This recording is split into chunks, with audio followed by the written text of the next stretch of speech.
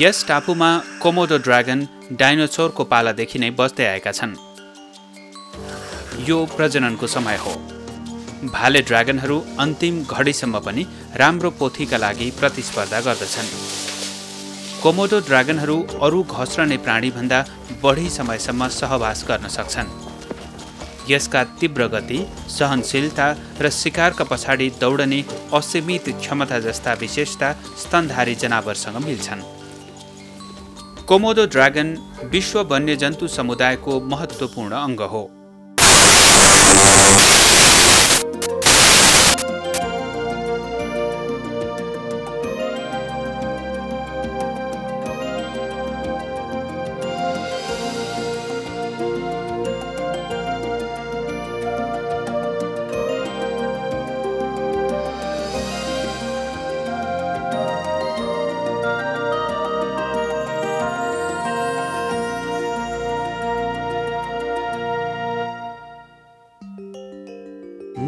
उष्ण प्रदेशीय समुद्रभन्दा माथि अवस्थित कोमोदो टापु संसारका जीवित मध्ये सबैभन्दा ठुलो घस्रने प्राणीको वासस्थान हो। सहरमा बस्ने मानिसहरू बुढेसकाल कोमोदो जस्ता टापुमा बिताउन चाहन्छन्। यहाँ प्रकृति र मानिस मिलेर सुन्दर चित्र बनाएका छन्। तर यस्तो स्वर्गमा पनि केही प्राणीलाई दुःख आइलाग्छ मासुहिरो इजुमा यस अघि पनि ड्रागनको फोटो खिच्न कोमोदो आएका थिए। डाँडामा चिहान भएको ठाउँमा पुग्दा इजिमालाई आफूले राम्रो काम गरेछु भन्ने लाग्यो। स्विस प्रकृति संरक्षणकर्ता ब्यारोन रुडोल्फ फोन रेडिङ विभ्रेगले अठहत्तर वर्षको उमेरमा ड्रागनको आकर्षण बढाएका थिए। उनी कोमोदो आए र सदाका लागि त्यहीँ बसे। उनी जुलाई उन्नाइस सय चौहत्तरमा यहीँबाट बेपत्ता भए। उनलाई ड्रागनले खायो कि भन्ने कुरा रहस्यमय छ। यहाँ सुरक्षाका विभिन्न उपायहरू छन्। इजिमाको टोलीका सदस्यहरूले ड्रागनको शक्ति र गतिको सम्मान गर्दै जिन्दगी यहीँ बिताएका छन्। ड्रागन पाइने यस ठाउँमा उनीहरू खतरा मोल्न चाहँदैनन्।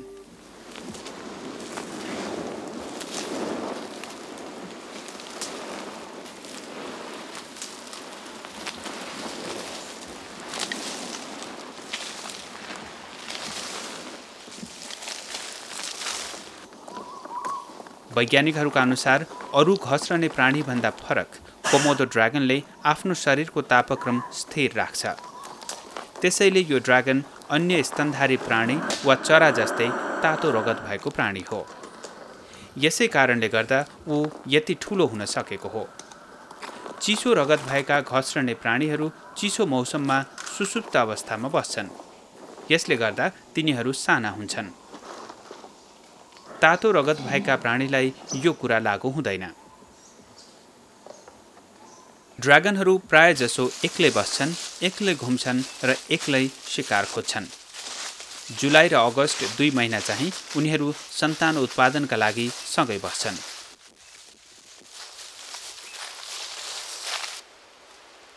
यो फोटो खिचेका दिनमा इजिमाको समूहले यस क्षेत्रमा अठारवटा वयस्क ड्रागन फेला पारेको थियो।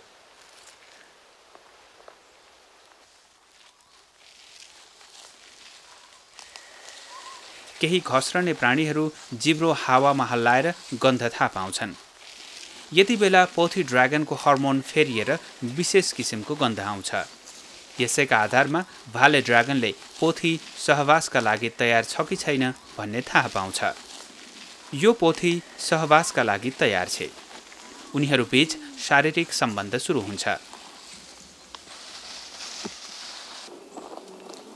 उनीहरूको सहवासको प्रक्रिया लामो हुन्छ। उनीहरू आधा दिनसम्म सहवास गर्न सक्छन्।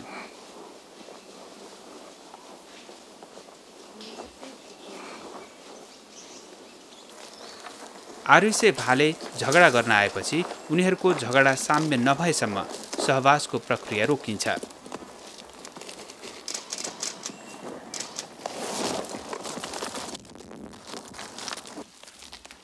हारजित नभएसम्म उनीहरू शान्तपूर्वक सहवास गर्न सक्दैनन्। यिनीहरू दुवै उत्तिकै बलिया छन्।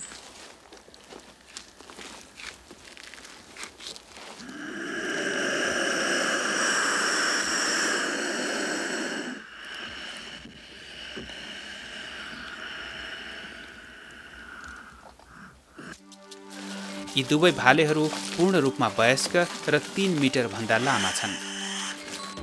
कोमोदो ड्रागन एकदमै लोभी घस्रने सिकारीको एउटा परिवार मोनिटर लिजार्डको सबैभन्दा ठुलो सदस्य हो। अस्ट्रेलियाको पर्वतमा हालै पाइएको उनीहरूको जीवावशेष सात मिटर लामो थियो। यी ड्रागनहरू भने चार मिटरभन्दा छोटा छन्।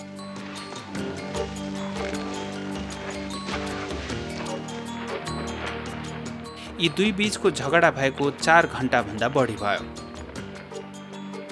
यो ड्रागनहरूको सहवास गर्ने प्राकृतिक स्थल हो।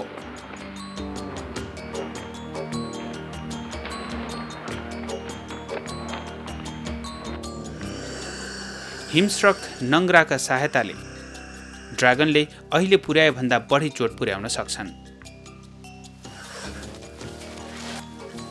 धेरै प्रजातिहरूमा यस्तो चलन भेटिन्छ। आफ्नो जोडीका लागि परेको लडाइँमा पनि यी जङ्गली जनावरहरू एक अर्कामा गम्भीर चोट पुर्याउँदैनन्। यस लडाइँमा जित्नेलाई पनि जिते जस्तो हुँदैन। चार घन्टा लामो लडाइँमा विजयी ड्रागनको नाकमा सबैभन्दा नराम्रो चोट लागेको छ।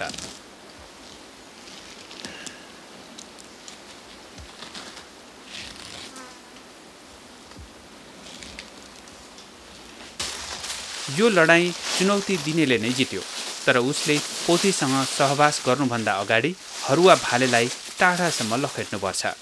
उसैले गर्दा केही घन्टा पहिले उनीहरूको सहवासमा बाधा पुगेको थियो। त्यसपछि उसले पोथीमा कब्जा जमायो।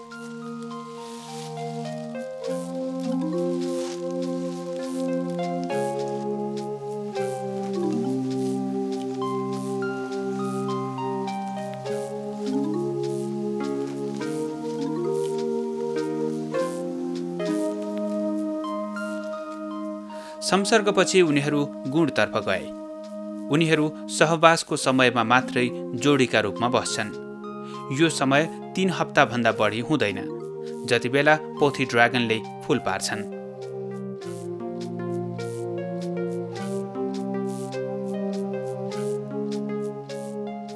कोमोदो ड्रागनले फुल कहाँ पार्छ भन्ने कुरा हालसम्म कसैले पत्ता लगाउन सकेको छैन।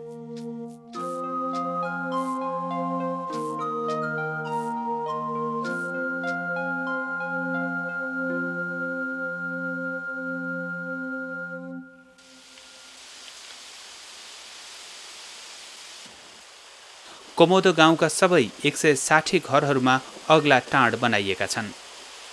पहिले पहिले ड्रागनले घरमा पसेर केटाकेटीहरू खाने गर्थ्यो।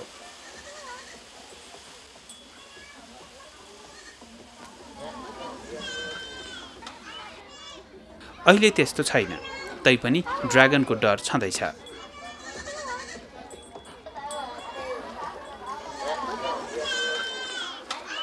बाख्रा पालन यहाँका बासिन्दाहरूको जीविकाको मुख्य साधन हो। उनीहरू साँझ पर्नु अघि नै बाख्रालाई खोरमा हुल्छन्। यसो गर्दा उनीहरूका बाख्रा ड्रागनले खान पाउँदैन र राति ड्रागन गाउँ आउने घटना पनि कम हुन्छ। कोमोदो ड्रागनलाई संरक्षित प्राणीहरूको सूचीमा राखिएको छ। तर यहाँका मानिसहरू ड्रागनलाई त्यति मन पराउँदैनन्। मासाहिरो इजेमाले फोटो खिच्न छोडेर एउटी महिलालाई भेटे जसलाई बारीमा काम गर्दै गरेका बेला ड्रागनले नराम्रोसँग दुःख दिएको थियो।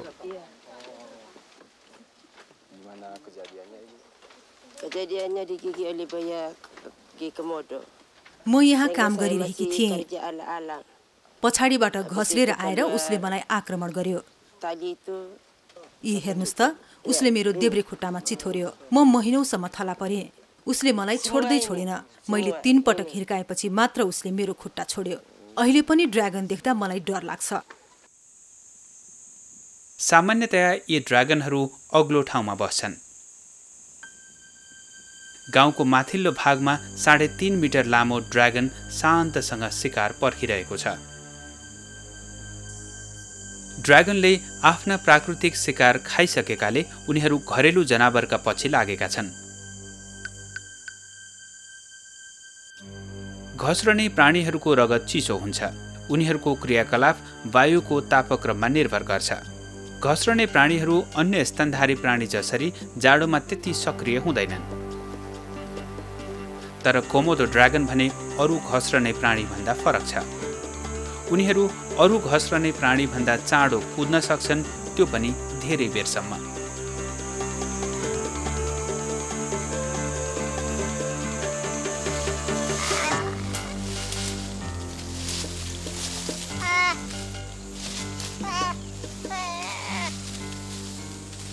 वरपर अरू ड्रागन नभएका बेला उसले आफ्नो शिकार पुरै निल्यो। यसले सिङ्गै बाख्रो एकै घाँसमा निल्यो। शिकार निलेका बेलामा यसले आफ्नो लामो र चिरिएको झन्डै सर्पको जस्तो देखिने जिब्रो किलकिलेसम्म पुर्याउँछ।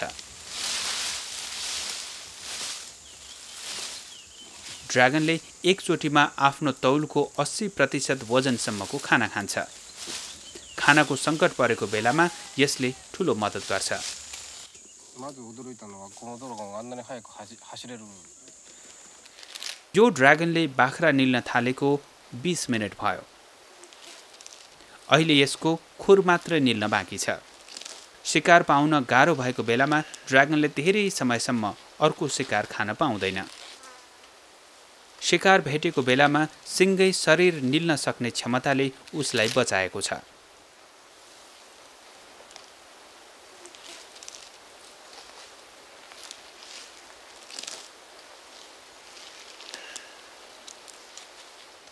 ड्रागन एकपटक खाएपछि अरू दुई महिनासम्म केही नखाई बाँच्न सक्छ।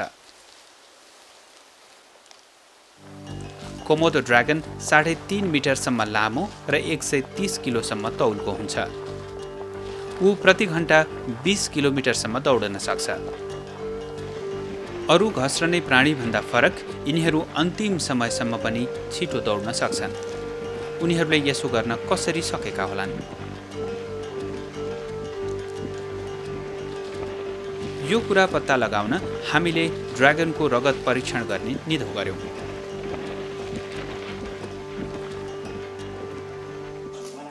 परीक्षणका लागि ड्रागन समात्ने काममा इन्डोनेसियाको वन मन्त्रालय र सुराबाजा चिडियाखानाले हामीलाई सहयोग गरे। ड्रागनको दौडने सामर्थ्यको रहस्यका बारेमा उनीहरूको रगत अध्ययन गर्दा थाहा हुन्छ भन्ने निश्चित छ। त्यो रहस्य भनेको उनीहरूको रगतमा भएको हेमोग्लोबिन हो जसले शरीरका विभिन्न अङ्गमा अक्सिजन पुर्याउँछ। ड्रागनको रगतमा हेमोग्लोबिनको मात्रा अरू घस्रने प्राणीको जति र मानिसको आधा मात्र पाइयो। ड्रागन कुद्न थालेपछि यसको हेमोग्लोबिनमा भएको अक्सिजन मानिसको भन्दा तीव्र वेगमा शरीरमा फैलिन्छ। जापानी हेमेटोलोजिस्ट कियाहिरो इमाईका अनुसार ड्रागनको रगत छेपारोको भन्दा फरक हुन्छ। यसको रगत अरू स्तनधारी प्राणीको रगतसँग मेल खान्छ। ड्रागनको रगत मात्र अनौठो छैन। उनीहरूले आफ्नो दबदबा भएको युगका विशेषता बोकेका छन्। उनीहरूले अहिलेको वातावरणमा घुलमिल हुने क्षमता पनि विकास गरेका छन्। जिकाई चिकित्सा विश्वविद्यालय टोकियोका नियोकी सुजुकी आठ वर्ष अघि पहिलोपटक लिजिमासँग कोमोदो आइपुगेका थिए। उनले अल्ट्रासाउन्ड गरेर ड्रागनको हड्डी र नरम तन्तुहरूको बनोटका बारेमा थप जानकारी पाउने आशा गरेका छन्। यो जेलीले ड्रागनको छालामा विद्युतीय माध्यमबाट सम्पर्क गर्छ। सुजुकीले कोमोदोको किनारमा उनीहरूको तथ्याङ्क रेकर्डिङ गर्नुपर्छ।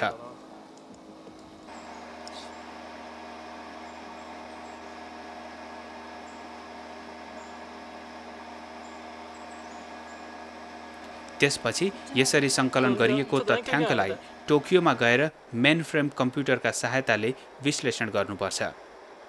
यो विश्लेषणबाट ड्रागनको अस्थिपञ्जर अरू घस्रने प्राणीहरूको जस्तै जीवित र शान्त पाइयो। शरीरको बनावटमा होइन टाउकोमा भिन्नता पाइयो।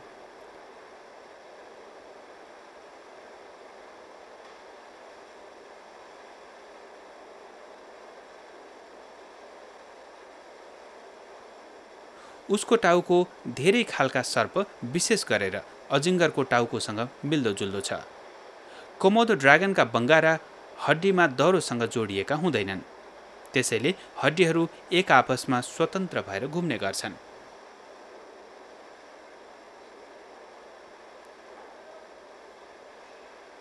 यसै विशेषताले गर्दा सर्प र कोमोदो ड्रागन आफ्नो मुखभन्दा ठुलो शरीर भएका शिकार निल्न सक्छन्।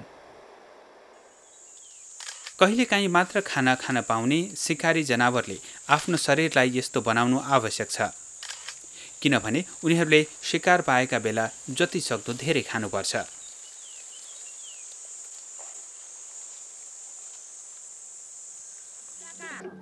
यो उत्सव मनाइरहेका बेला कोमोदो टापुका बासिन्दाहरूले कोमोदोका बारेमा आआफ्नै धारणा राखेका छन्।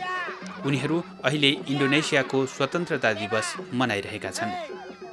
कोमोदो कुनै बेला अपराधीहरूलाई सजाय दिन पठाउने ठाउँ थियो। ड्रागनका बारेमा डरलाग्दा कथा सुनेका मानिसहरूलाई यहाँ ल्याएर छोड्दा उनीहरूलाई कति डर लाग्थ्यो होला भन्ने कल्पना मात्र गर्न सकिन्छ। अहिले त्यसरी डराउनु पर्ने अवस्था छैन। यो बलियो प्राणीको पतन कसरी भयो? ड्रागनका सम्बन्धमा उत्सव मनाइरहेका बेला सुजुकीको समूह यसको रहस्य पत्ता लगाउन अल्ट्रासाउन्डको माध्यमबाट तथ्याङ्क धमाधम रेकर्ड गरिरहेको छ।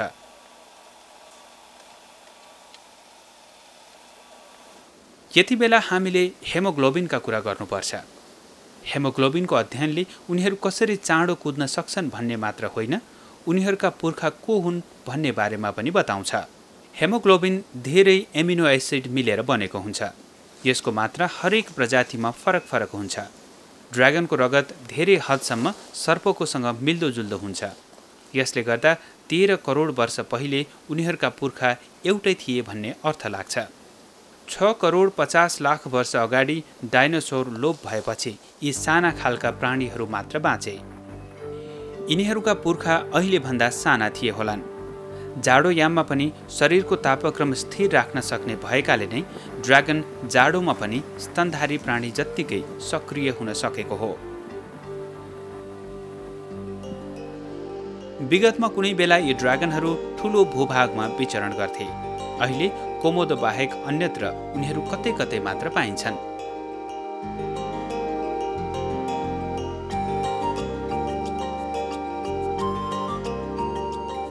उनीहरू कोमोदो र त्यस नजिकैका अरू दुईवटा टापुमा मात्र पाइन्छन्।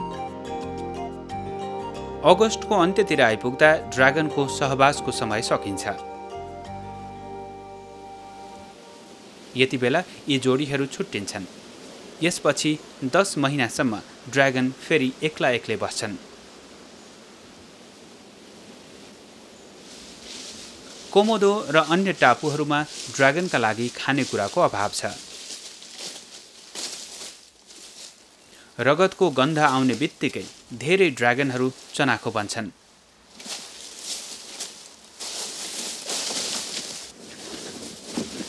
सहवासका समयमा पोथीका लागि भालेहरू लडाइँ गर्छन् तर खानाका लागि उनीहरूका बिचमा झगडा हुनु असामान्य कुरा हो।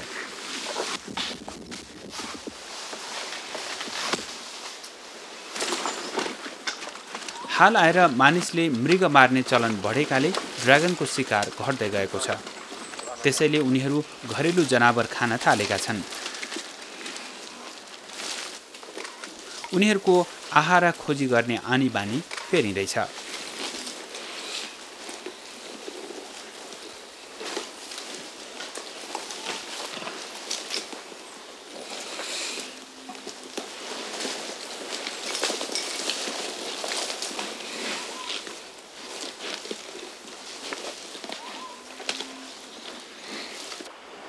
उनीहरू समुद्रको किनारसम्म पनि आउन थालेका छन्।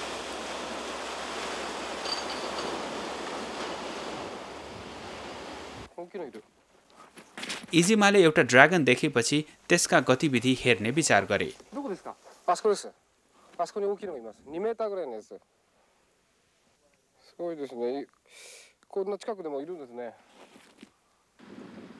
ड्रागनले डुङ्गाको छेउमा छेलिएर केही बेर वरपर हेरिरह्यो। उसलाई देख्दा कुनै काम योजनाबद्ध रूपमा सम्पन्न गर्न लागे जस्तो लाग्थ्यो। तर त्यो के काम थियो भनेर कसैले पनि कल्पना गर्न सक्दैन।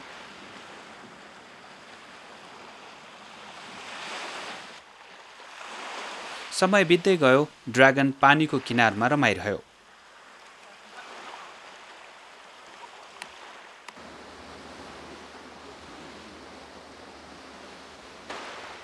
पारिपट्टि लिन्चा टापु पर्छ। ड्रागन त पानीमा पो पस्यो। ऊ किनारबाट सोझै अगाडि बढ्यो र लिन्चा टापुतिर लाग्यो।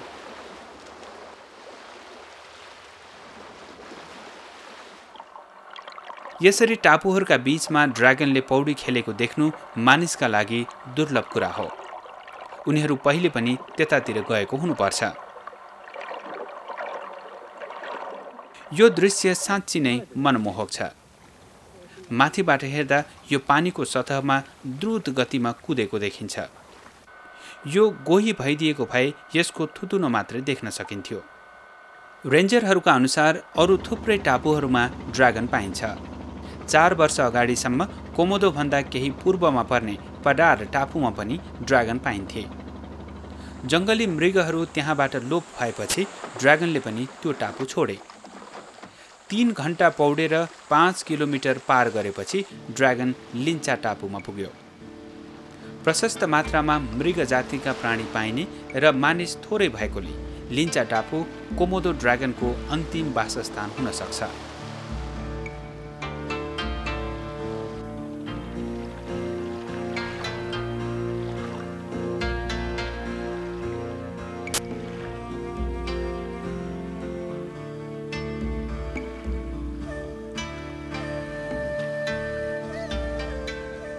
यहाँ जङ्गली जन्तुहरू पनि आरामले बसे जस्तो देखिन्छ।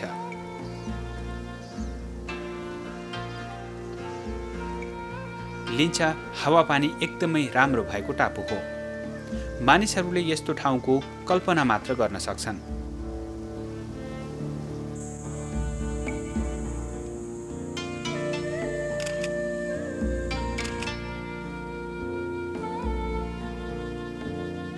अहिलेसम्म यो टापुमा धेरै हरिणहरू बिना कठिनाई बसिरहेका छन्।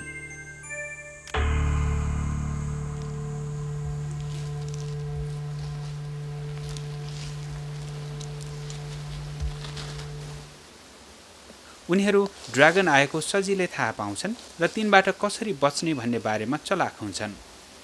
तर यो जिज्ञासु घस्रने प्राणीमा लखेट्ने क्षमता अति धेरै हुन्छ।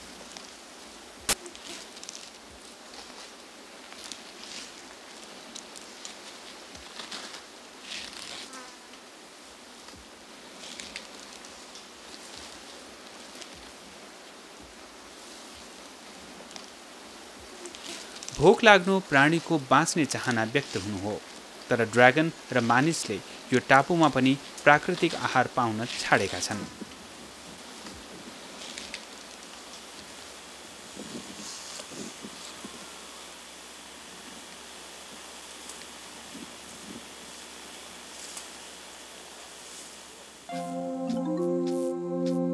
कोमोदो ड्रागनको नयाँ पुस्ता कायम राख्ने यी अन्डाको भविष्य त्यति सुरक्षित नहुन सक्छ।